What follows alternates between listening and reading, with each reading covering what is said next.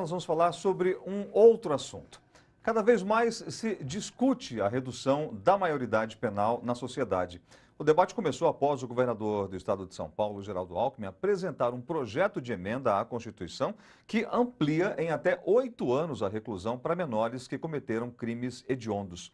No Senado, existem hoje três propostas para reduzir a maioridade penal. Uma delas, baixa a idade para 16 anos. Para a Central Única dos Trabalhadores, este é um momento interessante para discutir políticas públicas para a juventude mas não é possível admitir que a redução da maioridade seja a solução para diminuir a criminalidade.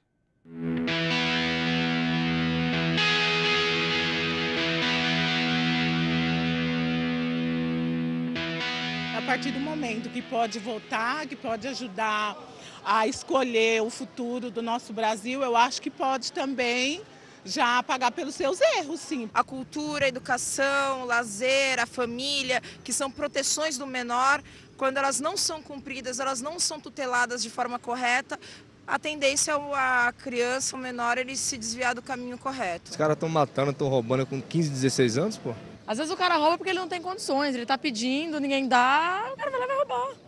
Se ninguém investe na educação, ninguém ajuda. Se investisse em educação, acho que não teria tanta necessidade de reduzir a idade penal. Tinha que investir na educação e também no sistema prisional. Hoje em dia o sistema não está nem um pouco preocupado em reabilitar ninguém. Não tem recuperação porque chega aqui fora também não tem oportunidade. Eles saem dali mais formados na criminalidade do que eles aqui fora, colocando eles para estudar. Juridicamente, não é simplesmente aprovar uma lei, é quebrar tratados internacionais. A redução da maioridade penal divide opiniões. O projeto de emenda à Constituição entregue ao Congresso Nacional é do governador de São Paulo, Geraldo Alckmin. Ele defende penas mais rígidas para menores infratores. A proposta altera o Estatuto da Criança e do Adolescente, ampliando para até oito anos a punição para jovens que cometerem delitos graves. É importante entender quais são os jovens que estão sendo atacados por essas medidas. Não são jovens de classe média alta é o jovem de periferia, é o negro. Esses são os jovens que estão sendo atacados por essa medida. É transformar a vítima em culpado.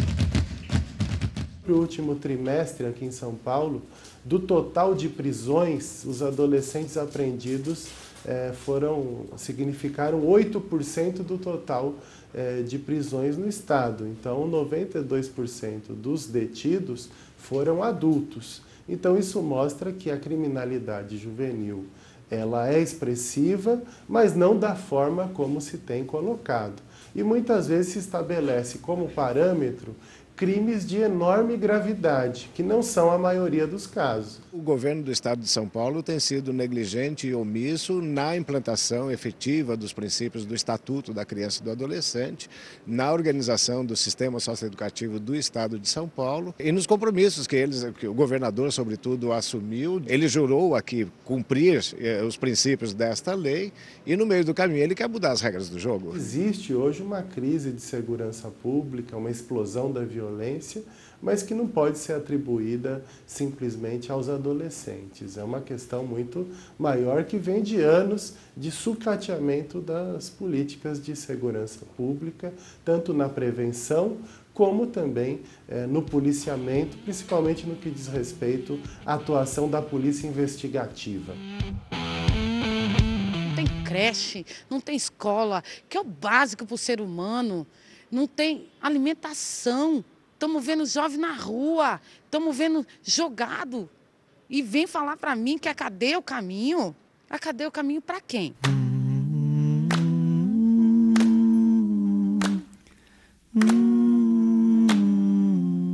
É muito fácil condenar quem já cumpre pena de vida.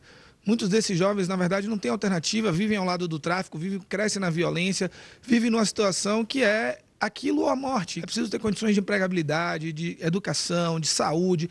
É preciso que o Estado acesse é, o morro. Né? É um debate essencialmente social e não, não é um debate é, eminentemente penal, eminentemente jurídico. Na medida que nós tivermos um processo de educação integral que envolva também um lazer, certamente que isso contribuirá para diminuir é, a violência e a delinquência entre os nossos jovens e adolescentes. Nós queremos que essas crianças não tenham um trabalho, não tenham um trabalho, tenham a infância garantida, tenham escola de, de qualidade, ter um lar, ter uma família, na, como deve ser e como é na maioria dos países do mundo. Se o Estatuto da Criança e do Adolescente fosse cumprido, nós não teríamos criminalidade juvenil.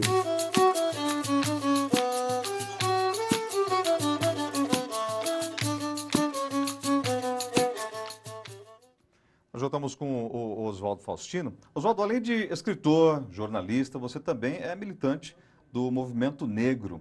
Como é que você é, avalia essa situação de tentativas de alterar a maioridade penal no Brasil? É, é aquela velha frase que todo mundo fala aí, é você joga, jogar água do banho juntamente com a criança. Ou seja, vamos solucionar o problema da violência? Bota a criançada na cadeia.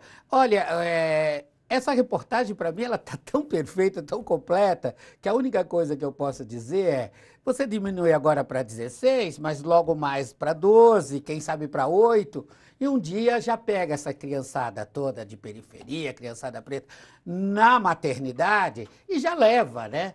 Porque é a única, a única forma, se eles acreditam que a forma de evitar a violência é punir, pegar a criança e colocar na cadeia, que o, a própria classe média alta e os demais vivem dizendo que as cadeias são escola de criminalidade. Uhum. Então, como é que você pensa que enfiando as crianças lá dentro você solucionou o problema. E na sua opinião, qual seria o caminho certo, a resposta? Olha, as respostas já foram dadas por todos. A resposta está na educação, a resposta está na oportunidade, a resposta está na referência. O, um jovem ali disse: o garoto vive do lado do tráfico. Ora, quem é a referência de vida dele? Quem é que é o espelho da vida dele?